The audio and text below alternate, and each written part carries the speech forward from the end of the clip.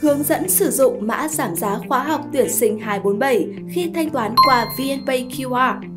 Chương trình áp dụng từ mùng 8 tháng 5 đối với tất cả khóa học và combo trên trang, chỉ 500 mã.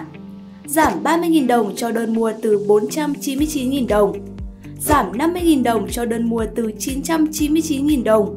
Giảm 70.000 đồng cho đơn mua từ 2 999.000 đồng. Các bước thanh toán nhận ưu đãi như sau. Sau khi đã đăng nhập tài khoản trên trang tuyển sinh 247.com. Bước 1. Chọn các khóa học muốn mua. Bước 2. Nhấn thanh toán ngay. Bước 3. Nhấn nút thanh toán qua VNPay, Momo, Napas, chọn VNPay. Bước 4. Nhấn nạp tiền, chọn phương thức ứng dụng thanh toán hỗ trợ VNPay QR. Bước 5. Mở app ngân hàng trên điện thoại, quét mã trên màn hình và chọn mã VNPay 247 và hoàn tất giao dịch. Lưu ý, ưu đãi giảm giá trên chỉ áp dụng khi thanh toán học phí bằng hình thức VNPay QR tích hợp trên các app ngân hàng và ví điện tử sau.